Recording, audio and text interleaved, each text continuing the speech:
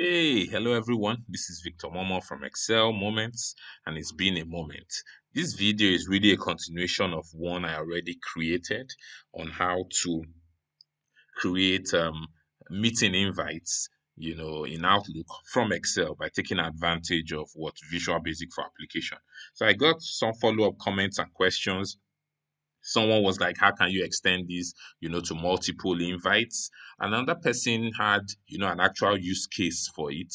Person is a recruiter and uh, for example you scheduled interviews for a number of people. You want to send out the invite to all of them but you want to do that with a click of a single button because the invites are pretty much the same. The only thing that would change, of course, would be the name of the people, you know, the time their interview is scheduled, maybe how long, who should attend, who shouldn't attend. So what I have is I've set up this table, which is really where we're going to be picking data from. And we're going to see how to create multiple invites, you know, at once and sent to um, you know, different recipients. Okay, so if this data expands and more rows are included, you just run the macro and it would um, adjust accordingly. Okay, so let's get into VBA and start. Uh, the first thing is we're going to create a module. Typically, you could do insert and then module. I always do it I or I am rather. Um, it's just my way of doing it, but it's the same thing, really. Okay, so the first thing I'm going to do is I'm going to add a reference to the Outlook object, so just so that I can take advantage of IntelliSense. So I'm going to do tools, I'm going to do references.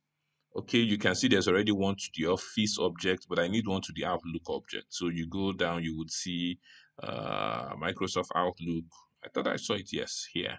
Okay, so the 16.0 is dependent on the version of Excel you have installed, right? You may see 15 or 14 if you have some of the older versions. Okay, so let's give our macro a name. Let's say sub uh, send uh, invite to multiple. Let's just call it that so it's not too long. Okay, so I'm going to create a few variables and then I'll get started. Uh, first one I'll do is I'll create one for the Outlook application and I'll say dot, you know, uh, Outlook dot application. Okay. I can create another one for the meeting in itself. So out meet, that's what I want to call that. And I would say Outlook dot appointment item Okay, so it's an appointment item and a meeting item are essentially the same, but you don't see, you know, a meeting item when you set this up. I will show you one of the properties, you know, of the appointment item object, which you can then use to switch it from being an appointment to, um, you know, a meeting. Okay, I know I'm going to loop from row to row, you know, to make this happen. So I'm going to create a variable for that. I could just call that i as long and then I may need to know, you know, the sheet I would be working on. I want to reference that. So I could call that in my own case setup sheet as you know, worksheet. Okay. So what I can do now is first of all, maybe assign, you know, those objects to, you know, what they really belong to. Because in this sense, I've only created, you know, uh, some um, uh, space in memory for them, but I haven't actually assigned them. So let's see. The name of my sheet is setup sheet. Okay, so I can go back here and say set setup sheet to be equals to worksheets, you know, setup. Okay, so that's it primarily. All right, so next thing I'm going to do is just to get into the loop, right? I know I'm going to be looping from row two. Why? Because row one has headers onto the last um, non-blank row. So I, I, need something like this. I just say for i equals to 2, meaning start at 2. Where are we going to end? I can do range a and rows dot count. What am I trying to do? I want to get the last uh, you know, non-blank row. So I go to the very bottom of column A and I press Control up. If you do that, it gets you to the last you know, um, non-blank row. Someone else could say, okay, I'll start from the top and press control down. That would also work, you know, only when you don't have blanks. Because if you have blanks in between, control down doesn't get you to the last, you know, non-blank row. Okay, so I'll do this. I go to the very bottom. This is like going to A1048576, the last row in column A. Then I come up, which is like end Excel up. That's like saying pressing control up and then whatever row I land on, that's the last used row, okay? And then I do next I. All right, so this is going to go from row 2 all the way that way. So inside here, I'm now going to um, assign, um, you know, um, what's it called? Um, some objects to the um, objects I've created, you know, a space for in memory. So I'm going to use, first of all, I'm going to say set, you know, the out app, which is the Outlook application to be equals to Outlook, you know, that application. I'm going to say set out meet to be equals to what? In this case, out app, which is now the application itself, dot what? I will create an item there. I'll create an item and call it what let's see an appointment item. It's the IntelliSense that really made me add that reference so that I don't have to think so much about some of these things. I can just pull them from memory. Okay, so what I've done here is this is the Outlook application itself. Then this is the appointment you know um, object and what we are doing here is that we are creating an item which is an appointment item within out app which is the application okay so you create the appointment item within outlook outlook here i've designated it to be out app. Okay so now this is the appointment item and the appointment item has a lot of properties. Okay like who you're sending it to the subject what time is starting you know the duration things like that. So i know i'm going to change a couple of properties. So what i'm going to do is i'm going to use the with block. So i'll say with out meet so that i can change a couple of them then i'll say end with okay? So within here i will then be setting up you know the different things i need so first thing for you know an appointment or a meeting invite was one of the important things you will need to have. Of course, you need to have a subject. Okay, so if you do dot, you would see that you have a subject, you know, property. So what's the subject property? We could then say what subject we want for this. We could say invitation, you know, to an interview. Okay, so invitation to an interview. I think that's good enough. What else do we need? We can put in here those who are required to attend you know so that's called the required attendees. Now let's see what column that is in my data. Press alt q to go back. Required are e and optional are f. Okay so let's come back. Alt f11 so required are e. So i can say setup sheet which is you know my sheet there. I can do cells, I can do range, whichever whichever one I want. I can say range, you know, E and whatever row I'm on, the row I'm on is I now currently because you know I'm using I to loop from row to row. So if I'm starting with I equals to 2, it means I'm on row 2. So in this case, I'm referring to E2. Okay, so I can say this dot value.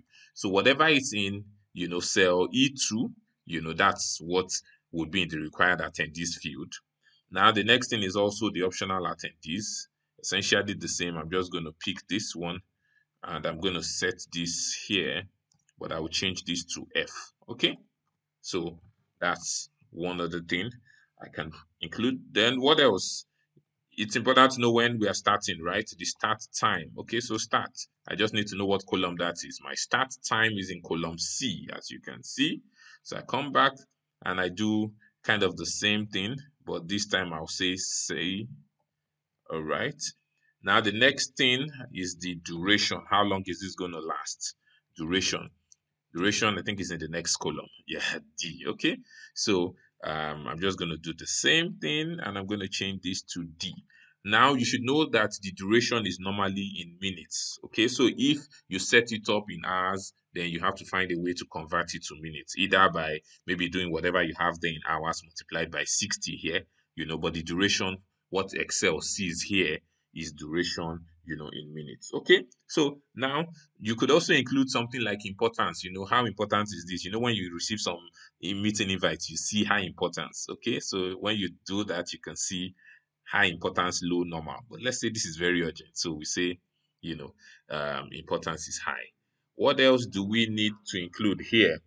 Um the body i think it's a very important one. So what do we want to put in the body? We may want to state something, you know, hello, this and this, you're invited to. So let's just create something simple. So just say hello, okay? And then maybe we'll now add this to the name of the person. So like say hello, first name, all right? So where's our first name? Our first name is in column A. Okay, so I can say hello, you know. So in this case, this is like saying hello, who is on row two, Victor. Yeah, so this is just going to be hello, Victor. Okay. Uh, so then maybe I put a comma, right? just following the thought process. So after doing hello Victor, then you may want to add, you know, um, an empty line first of all before you type what you want to do. So you can do VBLF, which is like saying a new line, but this would not leave. This is just like saying pressing enter, but you want to press enter, enter. So you could say VBLF, VBLF, right? So this is going to create, you know, like a blank line between the hello Victor and then you could just say, and um, maybe I should put it on the next line. Okay, so I just say, well, you are invited, you know, for an interview as scheduled above. Okay, then after this, I could add, you know, just one line and I can say maybe regards admin, something like this. Okay, so that's the body. That's essentially what you're going to see in the body of the mail. All right. So after that, what do we then need? We would need uh, let me see. Okay, location. Sometimes we put this here. So the location. Let's assume this is a, a meeting on Microsoft Teams. I will just put Microsoft Teams here. I'll just do this. That's what I will do for now. Um, then the last one I would want to include is what I mentioned at the beginning how you switch it from you know being an appointment to a meeting.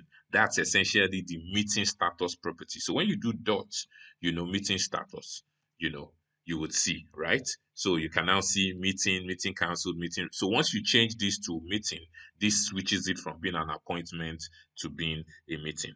Okay? So that's that the next thing here, because I don't want to send, you know, these emails, I will just do here dot display. But normally, if you want to send it, you should do dot send. Okay, so you see that. But I will do dot display in this case, just so that maybe all of them would pop up. At least we can see that uh, that's what I want to do. Um, is there another thing I may want to include? Yeah, I could decide to include, you know, like um, a reminder. This is one thing that is good. Sometimes you have a meeting for two thirty, and you can set a reminder so that it gives you you know a prompt at uh, 15 minutes to that time. So i could do dot reminder yes reminder minutes before start okay? So i could say 15 right? So this means that 15 minutes before the start time it's going to uh, pop up to tell me that you have a meeting in 15 minutes and i think that's good. So everything looks good except i'm missing something. So typically i would always do debug and compile okay? One of my lucky days everything seems to be fine.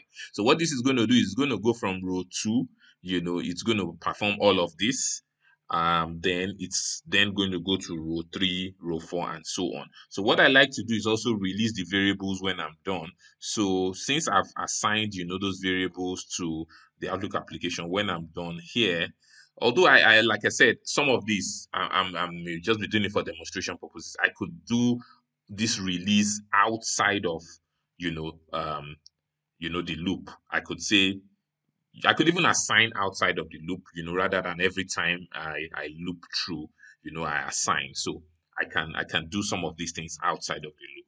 Yeah, but I was just working with the mindset of if I was setting it up for one recipient. So I could say set out app to nothing, you know, set out meet to nothing.